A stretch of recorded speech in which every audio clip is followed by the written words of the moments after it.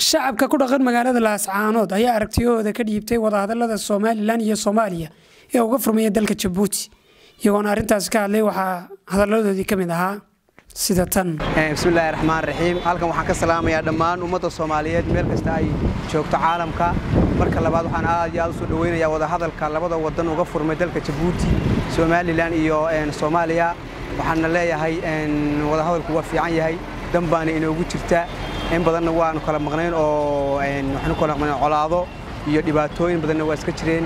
Haddii aynu wada hadallo ama aynu isu nimaadno waxunbaa hagaagaya aad baana u soo dhoweynayaa inay halka ku wada hadlaan madaxweynaha jamhuuriyadda somalilan musabix cabdi iyo madaxweynaha jamhuuriyadda federaalka soomaaliya maxamed cabdilaahi farmaajo. Aad baan u soo dhoweynayaa. Insha allah allan waxaan ka baryaynaa inuu si khayr qabo uu ku dhammeeyo maanta shirka ka dhacaya jabuuti ee madaxdii soomaaliyeed oo dhan isugu tegayso shucuubta soomaaliyeed waxay idinka rajaynaysaa khayr iyo midnimo iyo walaaltinimo.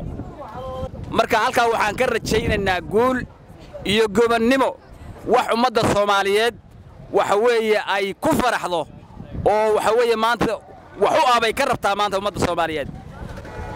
Gacal kale maqnaan jira iyo geeluba waa isu ololaa ummadda soomaaliyeed ama shacabka soomaaliyeed waxba kama dhexayn maartan annaga ku nool dhalinyarada magaalada laascaanood ee xarunta gobolka sool.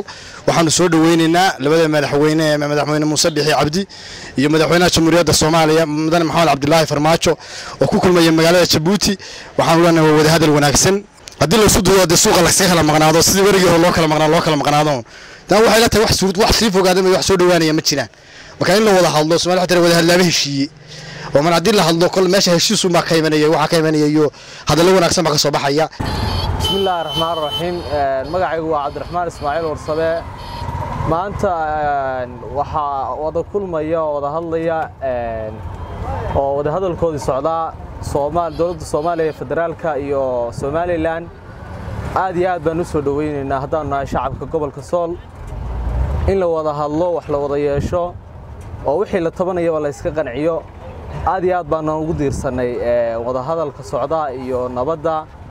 Madaxweynaha jamhuuriyadda federaalka soomaaliyana waa bogaadinaynaa waana soo dhoweynaynaa sidoo kale madaxweynaha jamhuuriyadda somalilandna aad iyo aad baan ugu bogaadinaynaa go'aanka geesinimo ee uu qaatay ee ah in la wada hadlo la wada fadhiisto oo wixii yacni meel laysla dhigo.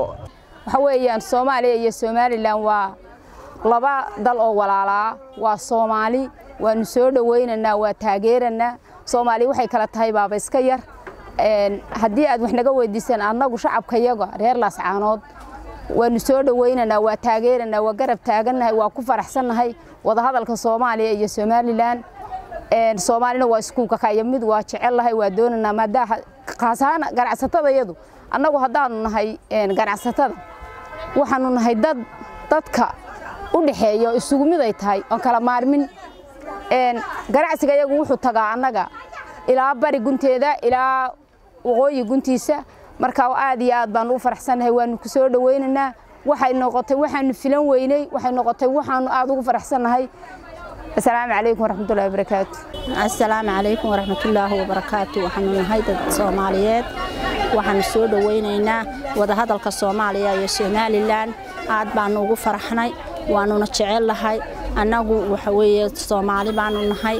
In ilaahay isu sakhiro isu soo dhoweeyo baanu ilaahay ka baryaynaa. Assalaamu calaykum waraxmatullaahi wabarakaatu waa barqad maxamed barqaduuniya wararka horyaal t v.